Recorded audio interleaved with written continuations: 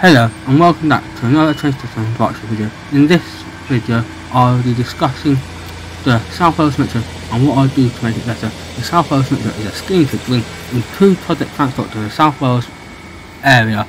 Before we start I do have to apologise for any mispronunciations of the Welsh place names in this video. What is the South Wales Metro? The South Wales Metro is a Welsh Government-led project which has seen total electrification of the Valley Lines. The project began at the refranchising of the Wales and Borders franchise after Arriva Trains Wales' tenure as being the franchise in charge of Wales and Borders. Not that Valley Lines, but the core Valley Lines which are a series of branch lines which have the terminuses of Cardiff Bay, Coryton for the City Line, Aberdare, Rhymney, Merthyr Tydfil, and to that the South Wales Metro is a repurposing of the existing rail network and extensions rather than building a completely new system.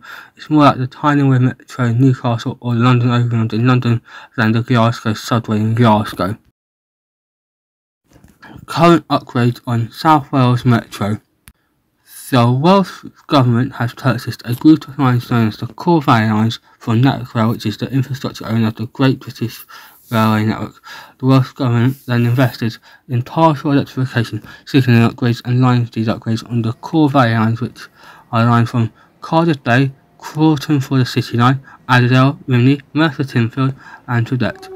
The line speed upgrade with the signal upgrades will reduce journey times by speeding up the slower parts allowing trains to run closer together and with the wider South Wales Metro doing a section of local lines from Cardiff to Bridgend Barry Island, Penarth, Cardiff Bay, Mustag, Treherbert, Aberdare, Merthyr Tydfil and Coryton, Rhymney, Eddisvale, Vale Town and Severn Tunnel Junction. They are also creating two dust-flatted transit systems, one to link the head of the valleys, lines to make transit between the branches easier and faster. The dust-flatted transit system is a great way to speed up journeys for low uh, cost. However, because the Welsh, Welsh max speed of 20 miles an hour throughout the whole country on all roads, this means that is a limited time time savings can be made. Future upgrades to the South Wales Metro. Transport for Wales Rails has plans to improve the South Wales Metro system by building the Cardiff Crossrail, electrification of lines to Swansea, and Bristol by 2030 with new services and with the final goal of electrification to Milford Haven and Pembroke docks. There are plans to enhance service frequencies beyond the current what being worked for towards four trains per hour on most lines. New bus routes to Porthcawl from Bridgend and Pontypridd to Glenarvan. Rolling stock of South Wales Metro. The South Wales Metro began operations with a fleet of 15 two-coach class 142 Pacers built by British Leyland with a max speed of 75 miles per hour. A fleet of 15 two-coach class 143 Pacers built by Hunslet Berkshire with a max speed of 75 miles per hour. A fleet of 36 two-coach class 150 Sprinters built by British Rail Engineering Limited Yorks with a max speed of 75 miles per hour. And a seat of 8 one-coach class 153 Super Sprinters built by Hunslet Berkshire as two coach class 155 Super Sprinters and converted to class 153 Super Sprinters by British Leyland with a max of 75 miles per hour. In 2019, KeolisAmey Wales took on 12 class 170 Turbostars built by Adtranz and Bombardier with 8 of them being 3 coach units and the other 4 being 2 coach units with a max speed of 100 miles per hour. They also gained a fleet of nine four-coach class 769 tri-mode units built by British Rail Engineering Limited as dual voltage class 319 for Thameslink.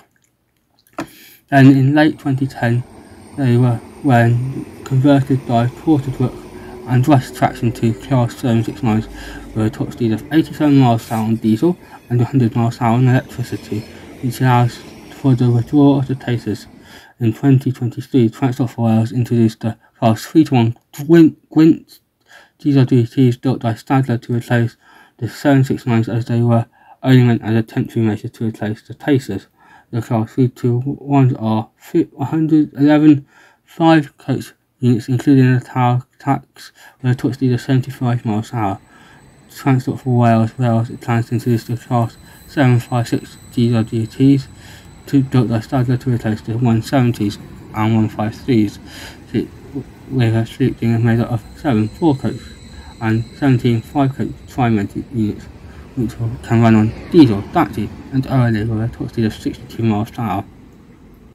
With the final trains Transport for Wales plans to introduce a fleet of 36 three coach class 376 398 tram trains built by Stadler with a max speed of 90 miles an hour and they have a, the same total length as a class 150 which they replace. The class 398 will be the only part of the fleet with level loading at some stations according to Transport for Wales accessibility guidelines as also none of the new trains from Stadler feature toilets on board.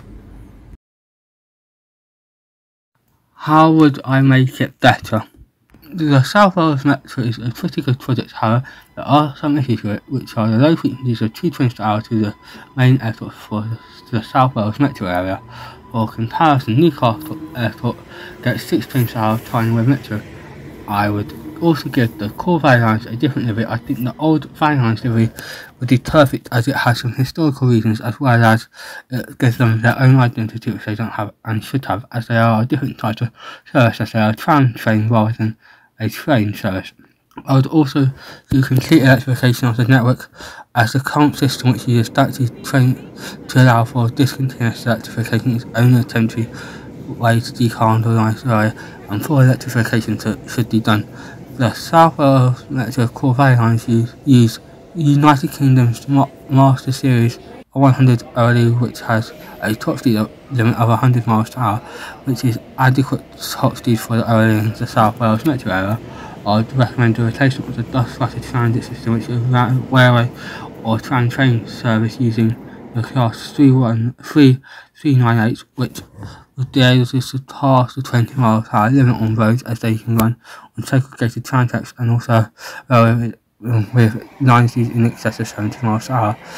In, I would like the fitting of the trains with toilets and also more units as they're not increasing fleet as they are taking 36 150 stroke 2s which solely work the core valley lines with a fleet of 36 398 which will also solely work valley lines and they want to double trains per hour. I don't see it ending well with even within fluid acceleration rate and double tracking. South Wales Metro could be improved by allowing the extension of some Jesus or services. I would utilise South Wales Metro to regenerate the Seam to the Coast Port Talbot steelworks to prevent a negative economic growth in the South Wales area. Thank you for watching. Please like, comment, share and subscribe to a trainspotter from Berkshire.